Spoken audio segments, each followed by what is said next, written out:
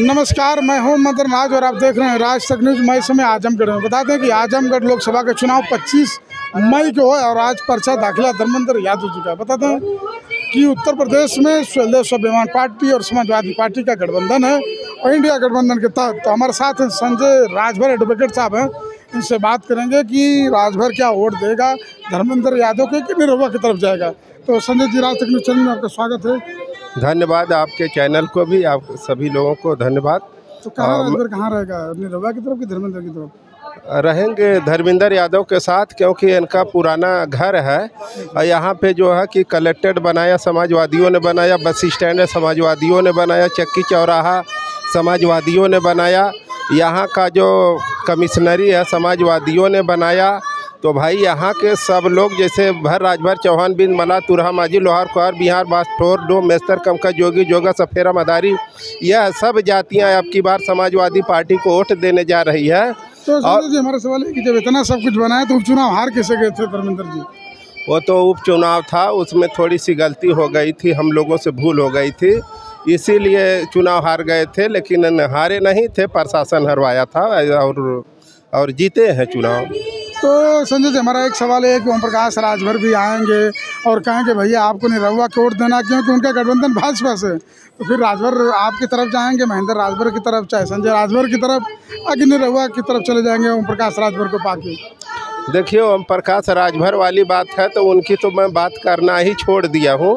अब रह गई राजभर, विकास को देख कर के वोट देगा। विकास कर को वोट देगा कि मतलब हमारा विकास कैसे होगा? और क्यों होगा? क्योंकि यहाँ पे जब मेरे पास लोग फ़ोन करते हैं, कहते हैं कि सिपाही हमारा सुनता नहीं है और जो है कि दरोगा हमारा सुनता नहीं एसपी हमारा सुनता नहीं है, और एसएसपी हमारा सुनता नहीं डीआईजी हमारा सुनता नहीं डीजीपी हमारा सुनता नहीं, उसके बाद मुख्यमंत्री, उसके बाद प्रधानमंत्री।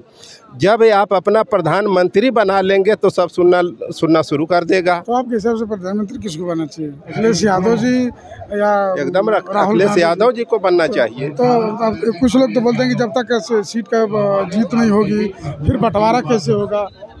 वो तो उनका काम है वो तो उनका काम हमारा काम है अपने लोगों को वोट दिलवा करके किसी भी तरह से धर्मेंद्र यादव को सांसद बनाकर यहाँ से दिल्ली भेजना।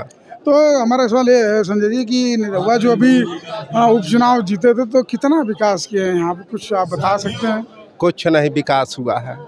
खाली एक को विकास हुआ है।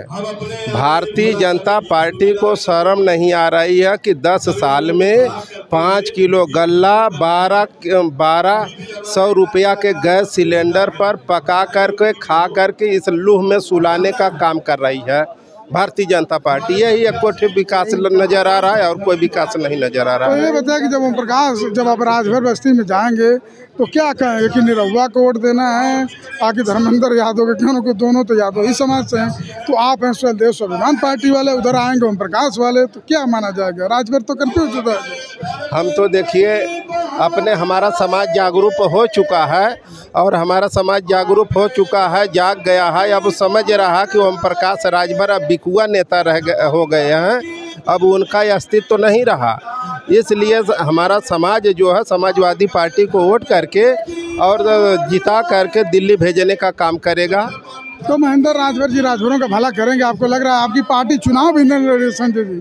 तो क्या कहेंगे आप लोग कि वो तो कहेंगे, भैया, आप तो दूसरे के लिए वोट मांग रहे हैं, आपकी पार्टी चुनाव भी नहीं लड़ रही है। हम लोग वोट दूसरे के लिए नहीं मांग रहे हैं। हम लोग विकास के लिए वोट मांग रहे हैं। विकास होना चाहिए, इस समाज का विकास के नाम पर वोट मांग रहे हैं। क्योंकि यहाँ पर जब अगर धर्मेंद्र यादव जीत जाते हैं, समाजवादी पार्टी की सरकार बन जाती है तो सिपाही दरोगा बाबू चपरासी I G D I G collector I S P C S D M Samajwadi सरकार में नज़र आते थे। और जब से 10 साल हो गया भाजपा का सरकार आई है, तब से हर पर्चवा लीक हो जा रहा है। वो सब लीक हो जा रहा, कोई बचाव चा थोड़ा ना है। तो संजय जी, मान लीजिए कि लोग कह रहे हैं और आपके राष्ट्रीय अध्यक्ष जी की महेंद्र राजभर दिल्ली गए, दिल्ली से आए आप लखनऊ गए, फिर लखनऊ से आए तो ये भी नहीं बताया कि हमारा किस मुद्दे पर चुनाव होगा, हम क्या करेंगे, बस ये बोल दे कि हम लोग समझौता की तरह से ये भी नहीं बताया कि हाँ हमको अखिलेश यादव जी ने कहा कि आप लोग सत्ताईस की तैयारी करिए, चौबीस हमको मौका दीजिए। बहुत सही, हम, सही बात है कि हम लोग देखिए उस लायक नहीं है। अभी हमारी औकात देखा जाए तो हम लोग महाप्रधानी लड़ने के हैसियत में नहीं हैं तो हम सांसदी कहाँ से लड़ेंगे, लड़ पाएँगे? इसलिए जो है 2024 के चुनाव में हम समाजवादी पार्टी को सपोर्ट करके और क्या नाम है कि हम लोग 2027 में चुनाव लड़ेंगे तो आखिरी सवाल हमारा संजय कि कितना सीट मिलेगी? सत्ताईस में चौबीस तो धीरे धीरे नज़दीक आ गया और जाने की तैयारी में तो हमारे राष्ट्रीय अध्यक्ष जी का मामला ये तो हमारा मामला नहीं न है कि हमको मालूम है। फिर भी बताए होंगे ना कि आप आजमगढ़ के हैं तो आजमगढ़ में संजय जी तैयारी करिए आप। नहीं अभी ऐसी कोई बात नहीं हुई है। अभी ऐसी कोई बात नहीं हमसे हुई है। अब 2024 बीत जाएगा उसके बाद 27 की तैयारी की जाएगी। तब फिर साढ़े नौ से हम लोग अपना सर्वे करना शुरू कर देंगे। चलिए ठीक है तो संजय राजभर एडवोकेट हैं स्वदेव स्वाभिमान पार्टी के नेता हैं। इनका कहना है कि हम लोग की अभी पार्टी की इतनी हैसियत नहीं है कि चौबीस में चुनाव लड़े। लेकिन इनको यकीन है कि सत्ताईस में ज़रूर समाजवादी से गठबंधन रहा तो हम लोग को मौका ज़रूर मिलेगा। आपकी क्या राय कमेंट बॉक्स में ज़रूर इससे खबरों के लिए राज तक न्यूज़ चैनल देखते रहिए।